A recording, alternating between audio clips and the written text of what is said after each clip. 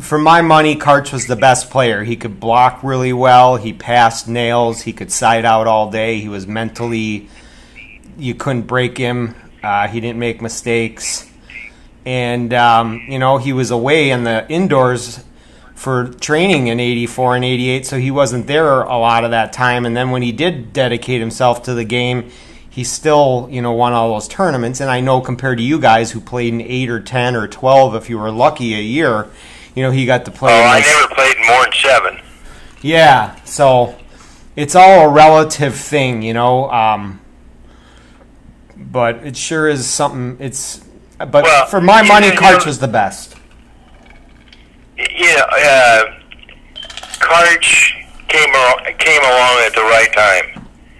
You know, like I I, I think I said to you that our '64 Olympic team was Yeah. a sham, but because of the way they picked the team, and not only that, they the team was only together six weeks before we went to the Olympics, and we had roughly half the team hated the other half because we've been competitive for 10 years before that. Right. Bitter competitors. So, I'll, I'll tell you why I think Selznick ranks on my list higher than all these other guys. Let's hear it. Okay, in 1956, Gene came back from the World Tournament as either Rome or Paris. And he was selected first team All World as a spiker. The first American to, to, to receive that honor. And he was already dominant force on the beach when he came back. So he was a great hitter. Then, when he came back, he wanted to play like the Europeans. So he left Hollywood YMCA, which had O'Hara and Bills and some names you probably don't rem- don't know, but they they had been a perennial uh, force at the Nationals, probably never worse than second or third. He left that team and put together a team of uh, well, Bernie was on the team. He was 35. Manny Signs at 5'5", was a setter. Jack Backer, who was an A player, was the other setter.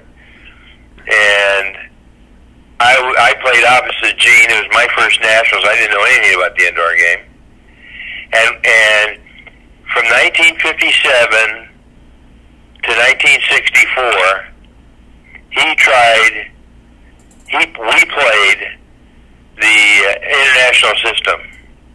Mm-hmm. Well, 1968, nine- nine- 1958, we played the international system, which meant that you couldn't bring your biggest guy from the back court up to the front court to block. So, the, the system that Karch is coaching is a major, is, is a slight derivative of what Gene brought over from Europe. So it's my opinion that Gene, the, the least credit that he doesn't get any credit for being really the father, if to pick a term, of the indoor game as it's played today. Now, Gene tremendous power. He- Uh, Dane has an arm like Gene's, real quick and a, and a heavy ball. Gene had a better serve because uh, Karch's serve was a, a little jump floater, which uh, wasn't much of anything at all. Gene had a roundhouse. He didn't jump and hit it overhand with a topspin. He just stayed on the ground and snapped the ball but it was real effective. Gene was a, a great setter, and he was unparalleled as a defensive player. So, now I didn't see Karch play in his prime, but I saw him play in a few tournaments when he was over 40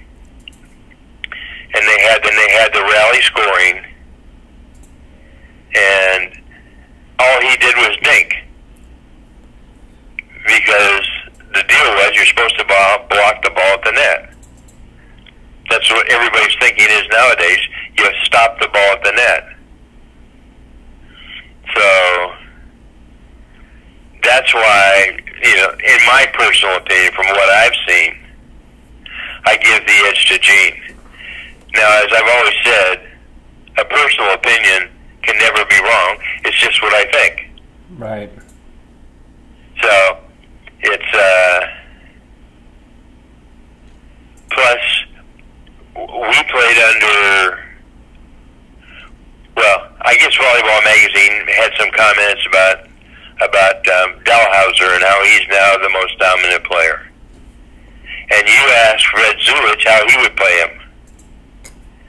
And I liked his answer. But if he had to play, if Dalhausser had to play under our system, no blocking over, no manicured court, then I think the the outcome would not be as everybody would expect. Number one, if Ronnie and I were going to play against Dalhausser, I'm going to serve. I'm going to serve Dalhausser every single ball. You want to know why? Because he, you don't know if he could hold up that long. You got it. Just like when If he's Rundo gonna would jump block. serve, he's going to block, and he's going to hit. Then we're going to make him do triple duty. And now, if you put him at Laguna Beach, where the sand is like quicksand, running up that hill, or State Beach, running up the hill, or Sorrento, where there was a definite. If you were feet off you were hitting eight three, eight four. Now he's a big guy; he could still hit the ball, but he's not going to hit the angles that he hits now because he's like hitting off um, a hardwood floor. The way they manicure the court, Right. and, and his when he was playing with Todd, they won a tournament in Southern California one time, and they had to come through the losers bracket. And this was Todd's quote in the paper: "We didn't warm up because we wanted to save our energy. We didn't want to get tired." Excuse me, get tired over an hour match? You were just warming up. Oh yeah, and and uh, you know if you if you have three of those long matches in a day, which you would have, the semifinal, the quarterfinals, semis, finals, and a double double elimination tournament, you're going to play a lot of volleyball. And and uh, and then again, if you if he had to play at uh, um, Mission Beach or San Diego when it gets windy, he showed at the Olympics this last year that he doesn't do well in the wind. I mean, it, it broke his game down. Now, so he's at a disadvantage under my rules. I'm at a definite disadvantage under his rules. Smaller court.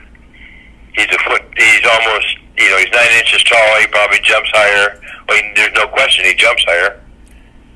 And, he's, I, and I've got a smaller space to hit to, and he doesn't need conditioning. So I'll give him the advantage over Ronnie and I under those conditions. But we have, we have a, a weapon that we never had to use. I'd I'd have Ronnie block him all the time.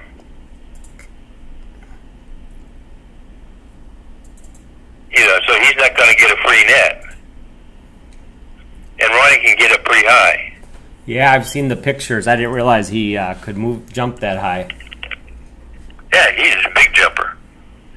So I mean, again, it's all it's all speculation and and uh, nobody you you're never going to be able to find out. But when someone says, you know, Dalhausser's a guy, do you know that he's only winning 38, 39% of the tournaments he plays in? I didn't see the numbers, but I'm sure I, I, I know you're good at calculating all that stuff. You were the stock. Well, I got it. I got it off um, um uh, BSAN database,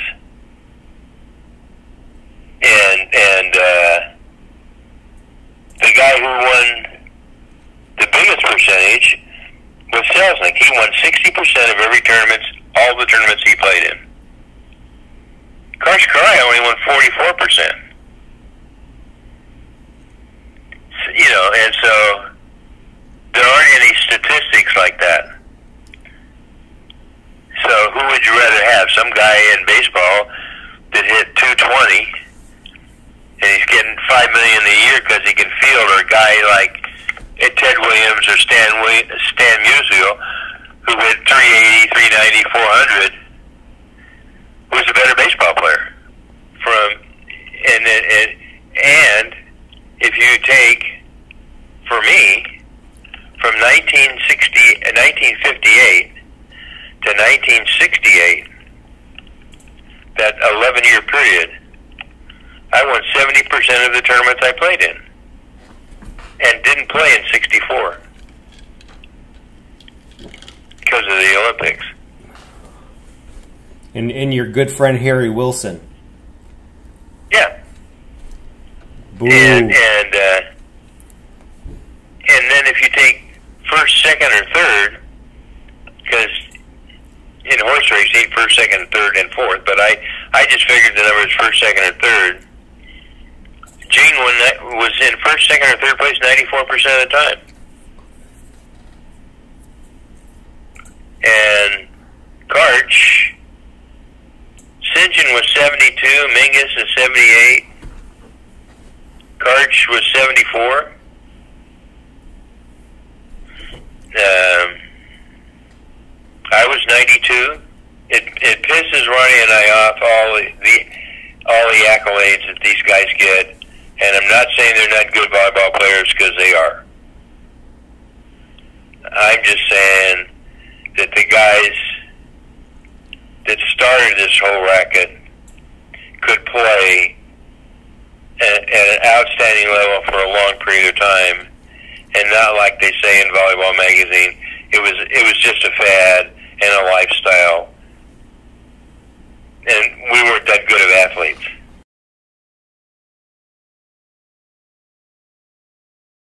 Do you remember the game or uh, that you played against Menges when he served a sky ball, or you served a sky ball, and uh, it was like ten feet out to. and it was coming down on the lady's head. Yeah, ten feet out of bounds, right? So what what did he do? Oh, it wasn't ten feet, but it was five feet, six feet out of bounds. Yeah. Sure, I was playing with Butch May against uh, Tommy and. Um, Jimmy. Chamales and, and Jimmy. they were in 13-11. We were in the losers bracket. He's playing with uh, Chamales and Menges were playing against um, Butchie and I. And I served a sky ball. Now, I, I didn't have a great sky ball, but it was, it, no question, it was going to bounce out of bounds. And it was coming right down on this gal's head who had a baby in her hand, in her arms. And he reached up and caught it before it hit her. I said, point. He said, what do you mean? I said, well, you touched it. He said, but it was going to hit this girl in the head. I said, it's a point. You're supposed to let the ball bounce. Well, that did him and he never got, they never got another point. You taught him well. And he they, talks about that a lot. Oh, he loves that. He and he loves the first time and him and Chamales came up and played against you guys on the A court and tested themselves, the young lions against the ruling yeah. lions. Well, and, you know, Ronnie and I were after them for quite some time to come up and play against us because they're down on the B court and they're beating everybody down there. And I, Ronnie and I both said to him, "You got to come up." And play us. Now we're beating better players than they're beating, and we're doing the same thing. We're beating everybody we play. And it, I bet you we cajoled him, them, for three or four months before they came onto the court. And then I did the 8 0 and next, you know. But my opinion of that is, taught him a lesson. He got some grit after that and he got, had a lot of grit for the rest of his career. Absolutely. I mean, he uh, he hated to lose so badly that he. Uh, who better could he have competed against than you guys to teach him that, and you in particular, and then Von Hagen with his dedication to the sport and fitness. Well, I told I, I two years ago, SC opened up um, three sand courts on their campus, and they invited me down to be the kind of the marshal. And I said, "These, the, there's one. They they played four men, and I spoke to them briefly, and I told them play as much volleyball as you can, and play as good as play against as many good players as you can. Always play up, because if you play down, you never going to learn anything. Von Hagen said you used to get frustrated when the uh, when you guys had a tournament coming up, like on the weekend, and some other team that would come up to challenge you on the A court wasn't any good. You didn't even wait to say the 8 0. You said it before the game even started 8 0. 8 0. and then you'd, well, you'd thrash them like a sock in a dryer. I don't remember doing that, but I don't doubt that I, I would have done it. See, because I felt and I, you know, if I got a little bit better a player I playing, which was pretty quick. I always felt if I beat you, if you played me ten times on the beach during the middle of the week, and I beat you every time, that if I drew you in the tournament, you wouldn't expect to win. Because I beat you all the time on the weekdays. Just like you told Steffes at that dinner that night, you're like, well, who cares? You're out to That's beat right. him and win. And I think he That's took exactly that to right. heart too.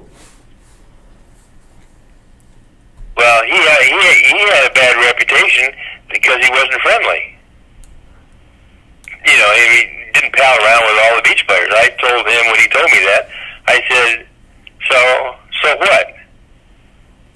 You know, I lived about a mile off the uh, a mile from Sorrento Beach, and nobody knew where I lived, including Von Hagen. I had an apartment up there on 10th Street, and First Street and Cliffs were uh, past the First Street was the beach, and nobody knew where I lived.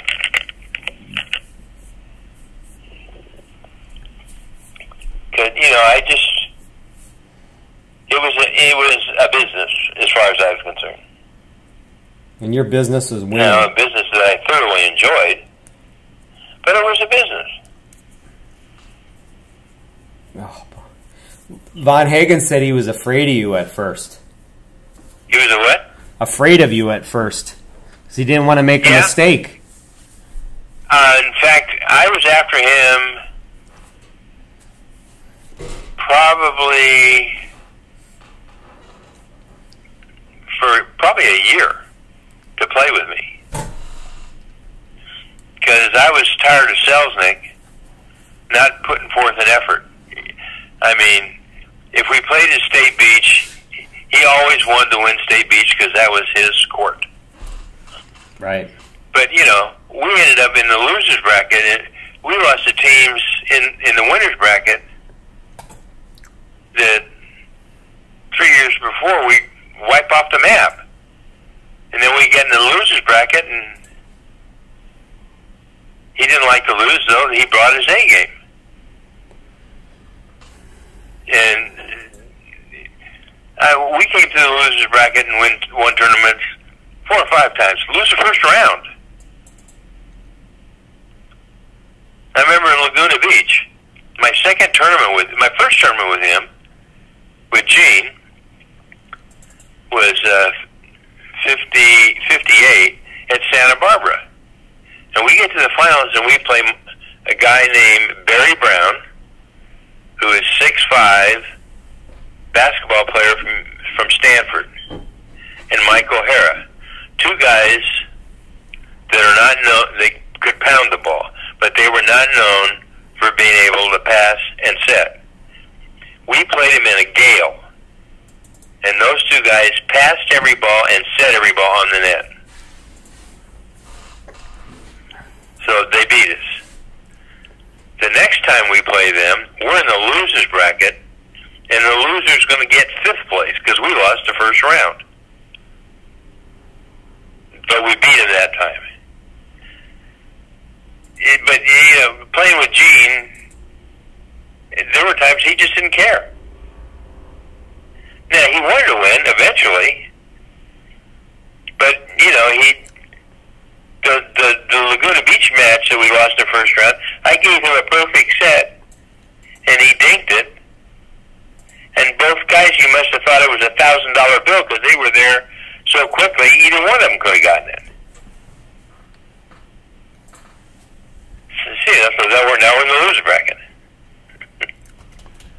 Yeah, that would be frustrating. I don't blame you. But uh,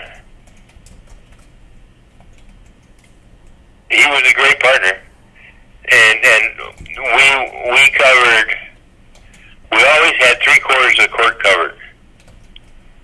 There's a picture that Dane's posted a couple of times. We're we're playing. Uh, I know who the hitter is. I'm not sure where it was. Guy by the name of Mike Heiger, who was a good jumper, and he, his partner was a guy named Henry Hitchcock. And he's hitting the ball cross court. And Gene and I are both moving almost in synchronization. Left foot in front. You know, I mean, we're both going to the spot where the ball's going to be hit. And, you know, our, um, I, my philosophy is you play defense like there's a rope on you. You cover three quarters of the court all the time.